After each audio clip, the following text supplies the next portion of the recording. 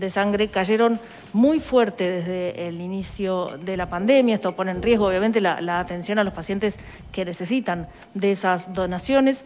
Ahora, además, se está sumando, como les comentábamos al principio, una campaña de donación de plasma de pacientes que ya tuvieron coronavirus, que recibieron el, alta y que de esta forma pueden ayudar a la recuperación de otros pacientes que tienen la enfermedad. Para hablar sobre este tema, para poder entender cómo funciona, ya estamos en contacto con Lourdes Guiano, es la directora del Servicio Nacional de Sangre, a que le agradecemos muchísimo estos minutos. Lourdes, bienvenida.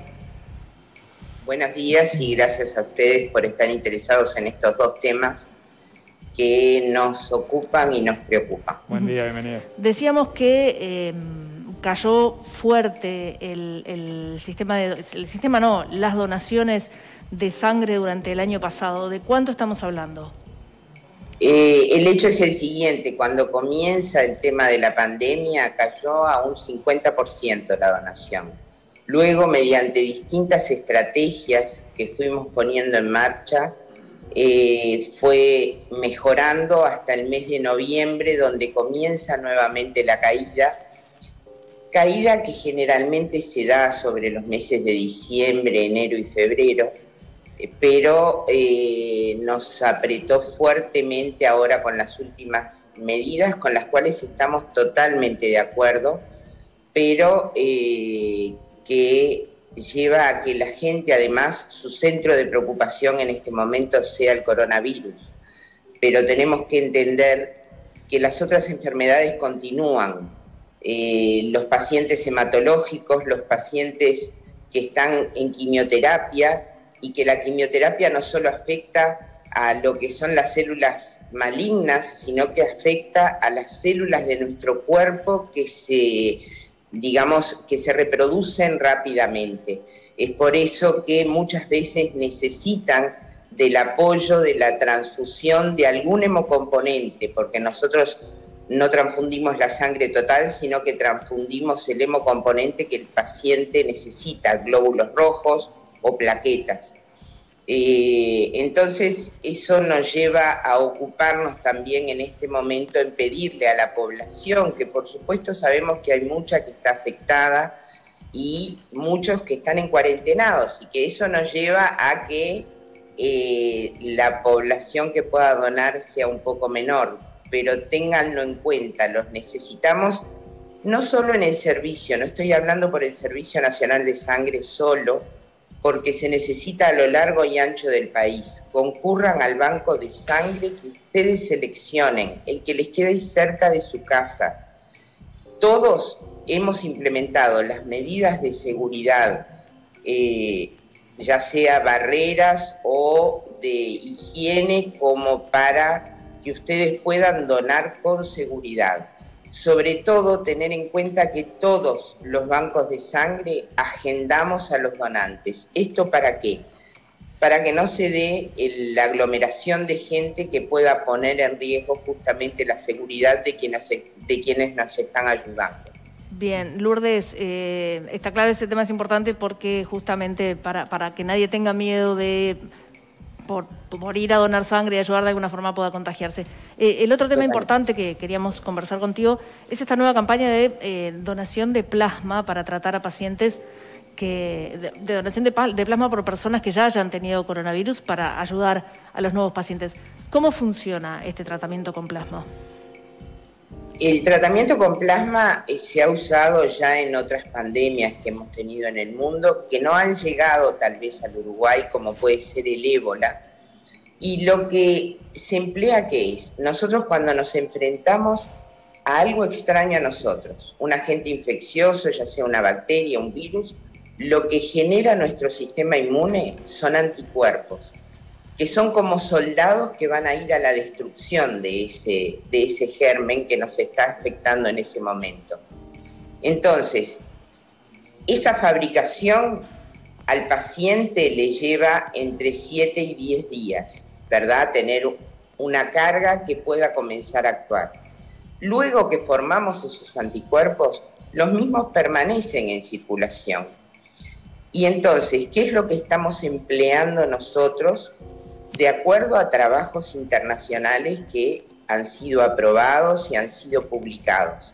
Esos anticuerpos van a entrar al organismo del paciente antes que él comience a producir los propios.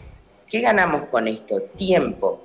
Tiempo en el cual el virus va a ser atacado y que le damos otra posibilidad al, paciente.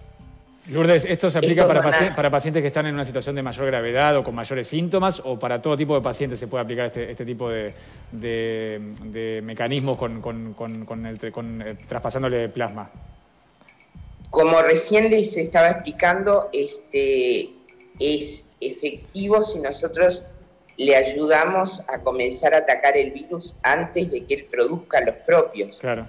Por lo tanto, eh, se vio a través de estos trabajos internacionales, sobre todo el del doctor Pollack, que lo hizo con un grupo de científicos argentinos, que, eh, digamos, haciendo la indicación del plasma en aquellos sectores de riesgo, sobre todo mayores de 65 con alguna comorbilidad o mayores de 75 sin comorbilidades, de forma precoz, ayudamos a eh, que la respuesta sea más rápida y que pueda haber un, digamos, un, un empeoramiento del paciente mucho menor. Lourdes, ¿está estimado más o menos la eficacia que tiene este, este tratamiento, por lo menos en la experiencia uruguaya? No, en la experiencia uruguaya eh, les explico, estamos en este momento haciendo la campaña para hacer el stock adecuado que puedan necesitar al momento de que de la implantación de este proyecto. O sea, todavía no se está haciendo. Eh, ya fue lanzado, pero necesitamos una cantidad mucho mayor de donantes de plasma para poder dar con seguridad ese tipo de tratamiento, ¿verdad? ¿Cuántos se necesitan eh, más o menos? Entendámonos que, bueno, según el cálculo realizado por el doctor Pablo Mují, que es un asesor del GACH, se necesitarían 300 unidades por día para todo el país. ¿Y a, qué, este, ritmo están donando ahora, Lourdes? Bueno, en este momento estamos justamente, gracias a que ustedes nos están ayudando en esta difusión, en el fin de semana tuvimos 254 voluntades que se inscribieron en nuestra página web del Servicio Nacional de Sangre. Pero quiero aclararles algo. En este momento la captación de donantes es multicéntrica. Tenemos el Servicio Nacional de Sangre con su página web sns.ui, donde ahí van a poder ver, dice específicamente para aquellos pacientes que tuvieron COVID y fueron dados de alta, cliqué aquí y ahí tiene todas las condiciones, se le explica todo el procedimiento y además está la posibilidad de agendarse. ¿Esto qué hace? Descongestionar un poco nuestras líneas telefónicas 2487-2414 y 2487-3101. Pero además está el Hemocentro Maldonado con su web hemocentro.ui o el 4225-8509 y el Hospital de Clínicas, la Cátedra de Medicina Transfusional, que también está apoyando este proyecto. Y tiene un celular 099-170-264. Bien. Eh, eh, estos tres centros estamos actuando de manera mancomunada para poder que, por un lado, eh, recepcionar las voluntades, por el otro, distribuirnos el trabajo de manera de poder alcanzar ese stock que eh, sustente este proyecto y que pueda de esa manera apoyar en que haya menor cantidad de ingresos a los CTI. ¿Y cuáles son los requisitos específicos para, para que las personas donen, Lourdes, aparte de haber tenido COVID-19, los plazos y demás? Bueno, muy bien. Los plazos es el siguiente. Según la, el proyecto es eh, después de haber sido dado de alta, dejar transcurrir 28 días. Ahí ya se puede postular. Después nosotros vamos a hablar con ellos por teléfono para, digamos, eh, despejar dudas por un lado y por el otro decirle si puede o no puede donar, ya que estos donantes deben cumplir las mismas condiciones que el donante común de sangre, entre 18 y 65 años, pesar más de 50 kilos, no tener patologías que puedan ponerlo en riesgo, cardíacas, respiratorias, de otros sistemas. Eh, no haber tenido hepatitis después de los 10 años de edad y después de hacer esa primera selección se lo cita para una entrevista personalizada donde se profundiza y además se le hace una extracción de sangre para hacer los estudios de transmisión por la transfusión legalmente vigentes y además enviar una muestra al Instituto Pasteur. ¿Para qué? Para que nos digan qué tenor de anticuerpos tiene. No todos formamos la misma cantidad de anticuerpos y para este tratamiento se necesita un nivel llamado alto, más de uno en mil. Lourdes, ah, entonces... Perdón. Sí, sí, sí, sí. Entonces, perdón, entonces, de el 100% de los que se inscriben, solo un 20 a 25% llega a conformar todas estas condiciones y ahí sí vamos a coordinar el, procedimiento. El procedimiento tiene un nombre muy especial que se llama plasmaféresis, que es solamente le vamos a extraer la parte líquida de la sangre y se le va a devolver el, el resto de los hemocomponentes. ¿Qué se logra con esto?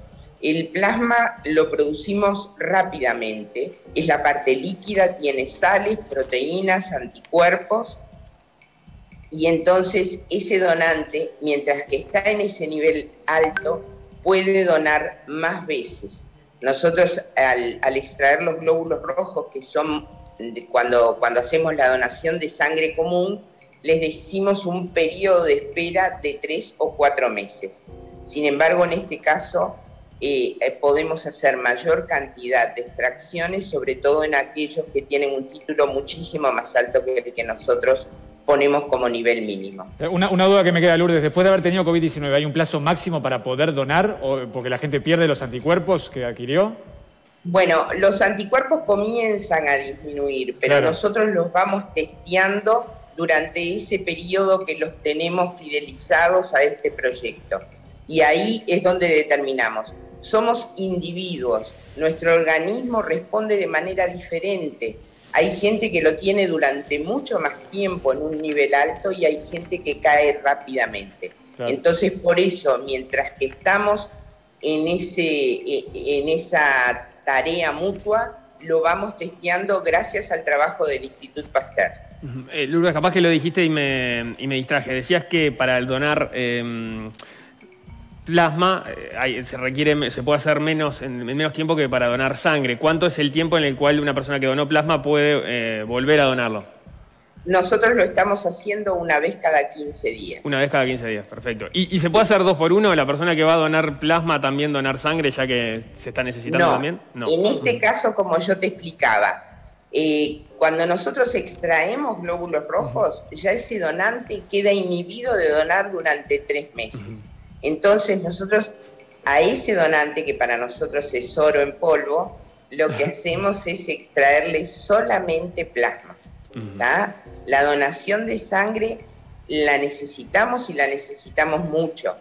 Eh, piensen en las intervenciones eh, que no se pueden suspender, como muchas veces son las de la índole cardiovascular, las oncológicas, todas esas sangres requieren, todas esas operaciones necesitan de hemocomponentes como sustento para salir adelante. Em, Lourdes, teniendo en cuenta todo lo que nos estás explicando y eh, el camino que está llevando esta donación de plasma para este futuro tratamiento, ¿cuándo estiman que van a poder empezar a utilizarlo en pacientes? Nosotros vamos a lanzarlo, o sea, está lanzado por la parte de, ACE. El doctor Henderson, el gerente general, es quien está liderando este proyecto y lo está empujando fuertemente. Y nosotros eh, lo que intentamos es hacer la mayor cantidad posible, pero eh, pensamos que ya eh, si hay algún paciente que tenga estas condiciones, va a, recibir el tratamiento. Eh, lo otro es que ACE está implementando, ya tiene implementado en la regional este una unidad móvil de aféresis que está recorriendo la, regional este recogiendo unidades de plasma y en Montevideo, ahí están las imágenes de la unidad móvil. Y en Montevideo, eh, además de la colecta en el Servicio Nacional de Sangre, se están implementando unidades para realizar las transfusiones pertinentes de esos pacientes que eh, no, en su mayoría no están internados. Eh, Lourdes, te, devuelvo antes de cerrar al, tema de la sangre porque me quedaron un, par de, un par de dudas. Vos decías que en los primeros meses de la pandemia las donaciones habían este, bajado un 50%, después habían empezado a subir hasta noviembre y después habían empezado a bajar nuevamente. Eh, ¿Cómo ha evolucionado la, demanda, en definitiva, de, sangre? ¿Y qué es lo que pasa eh, si los niveles de, sangre que hay en el banco de sangre empiezan a estar en niveles eh, críticos? ¿Y qué pasa si se termina por pensar en un, extremo? ¿Cómo, ¿Cómo funciona eso? El hecho, el hecho es el siguiente. Nosotros desde el Servicio Nacional de Sangre tenemos lo que llamamos los grupos solidarios. Es gente que desde hace más de 30 años están trabajando con nosotros y generan jornadas de extracción extramuros. Nosotros vamos hacia los lugares donde están esos donantes, que puede ser una empresa o puede ser hasta un pueblo en sí, este, en el, sobre todo se dan en, en el departamento de Canelones, donde nosotros concurrimos. El Hemocentro recorre toda la regional este. Con eso nosotros hemos llegado a niveles prácticamente normales hasta, como les dije, en noviembre. Luego poco a poco comenzamos a bajar y ahora estos mismos grupos nos están dando un fuerte apoyo. Eh, se hacen jornadas en Montevideo en forma conjunta con el Hospital de Clínicas, con el Hospital Pasteur, el Servicio Nacional de Sangre. Hemos implementado muchísimas medidas. ¿Cuál es el asunto? No podemos concentrarnos en, eh, digamos, en una sola institución porque la gente está evitando la movilidad, porque es lo que les estamos aconsejando. Entonces, tal vez si viven cerca de cualquier centro de salud sepan que van a tener las mismas seguridades para su persona. Pero eh, las demandas siguen existiendo. Pueden haber bajado un poco porque no están las intervenciones planificadas, pero el hecho es que nosotros debemos tener una reserva como para hacer frente a cualquier urgencia. Y es por eso que estamos llamando a la comunidad. No hemos quedado en cero se han demorado algunos tratamientos especiales, porque hay tratamientos que deben ser con sangre extraída, no más de cinco días de extraída. Entonces eso aumenta los requerimientos en el, al sistema. Lo que tiene de bueno el, el sistema de la medicina transfusional uruguayo es que es muy maduro y trabajamos todos en conjunto no hay un banco separado de otro. En el Servicio Nacional de Sangre funciona un sistema de intercambio que todas las mañanas se sabe el, eh, eh, qué disponibilidad tienen para acceder a otros servicios. Y a su vez, todos los servicios que necesitan llaman para pedir ese hemocomponente que están precisando. Pero no queremos que ese stock que tenemos de reserva para poder sustentarnos entre todos pueda disminuir a situaciones críticas. Nosotros nos tenemos que ocupar antes que ocurra eh, la llamada de emergencia. Bien, eh, Lourdes Viano, directora del Servicio Nacional de Sangre, muchísimas gracias por toda la información que nos ha brindado. Les agradezco muchísimo a ustedes. Para nosotros es muy importante trabajar en conjunto con la comunidad y solamente a través de esto podemos informar y que la gente conozca cómo trabajamos. Que tenga buen día. Ojalá el mensaje llegue y se difunda rápidamente. Gracias. y recuerden los números de teléfono y las páginas. Hasta luego. Hasta luego, Lourdes. Muchas gracias. Bueno, muy bien.